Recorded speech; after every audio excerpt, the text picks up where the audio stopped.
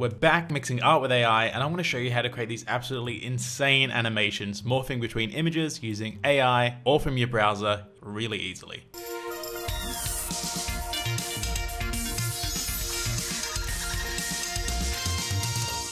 I'm using artbreeder.com. This video isn't sponsored in any way. This tool is just at the moment the most powerful and user-friendly AI I've found. In the last video, we covered how to create and manipulate images using Artbreeder in depth. Now here's how to animate and morph them all together. Let's go over to the top right and select create. And you can animate four out of the five of these categories. You can animate general, you can animate portraits, you can animate album art, and you can animate landscapes as well. Let's start with portraits. First thing we need to do is upload some of our own images. So let's go to upload. We can select upload and then choose them from here. And down the bottom, we can see images that I've already uploaded because it does take some time to upload them. You can see we're in a queue here and then it takes about an hour to process after that's done. And it does give you the warning that uploads are only approximations of the original, and that's because they're processing them to fit inside their AI model. So if we go down here to the Seinfeld characters that I've uploaded, you can see that the Elaine one looks pretty identical, but with Jerry there's some slight differences in his mouth and the very edges of his eyes, which are subtle but kind of noticeable if they're a familiar face. George looks fine, but there is some slight differences in the Kramer upload. So maybe try uploading another image if you need it to be really identical. So once we've uploaded our images, we can go to create, select portraits, and then choose animate.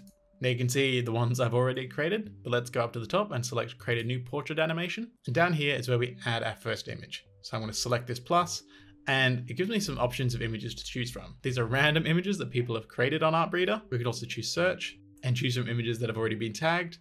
We can choose from trending images, images that we've created and starred, images we've created, and images that we've uploaded as well. So while we're in uploaded, let's select Jerry as our first image, and then let's add Elaine, and then next Kramer, and then George. And I'm also going to add Jerry again at the end because we want to create a seamless loop. So once it gets to the end, it will start from Jerry again. Now there's a few more things we should know about before we generate. On the top right here, we have our frames per second. At the moment, we've got 24, which is a very standard rate for video. This is how many images will be visible every second. I wouldn't want to go below 12 frames per second because that'll start to look really particularly choppy.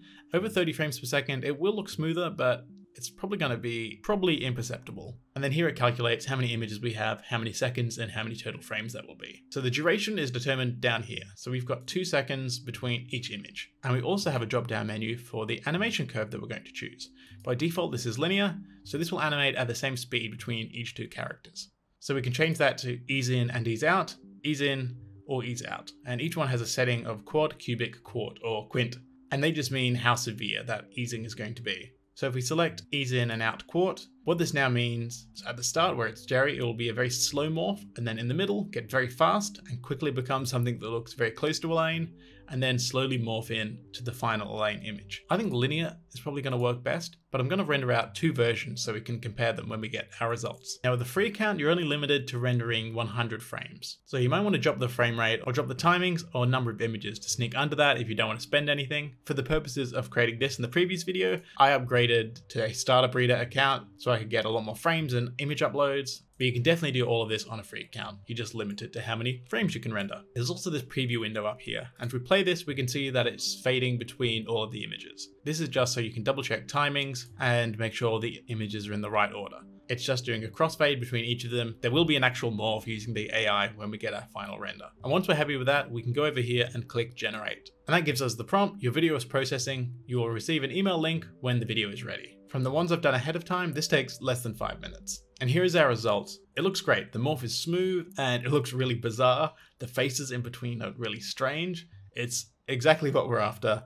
And this is using the linear ease. And to the right, here's what a quant ease in and ease out looks like. So there's a pulse within the speed of the animation. It's fast into the transitions and then slow on the key images. I did some more experiments. Here's one with Van Gogh self-portraits which didn't quite work as well as I thought. And that's because there's a lot of texture and brushstroke in the images, and that kind of gets muddled when processed by the AI. The Frida Kahlo ones, which are much more realistic paintings, I think worked really well and gave a pretty interesting result, being that it's the same person just morphing between different paintings, and some other characters you might recognize as well. Now you can do the same process to create animations for general, album arts, and landscapes. Now the final width and height of these renders is it's 1024 pixels by 1024, so not quite 1080 by 1080, but I think you could scale that up and get away with it. So that is a downside that it's not exactly HD, but kind of expected, and I don't think this tech is that far away from being able to render in 4K.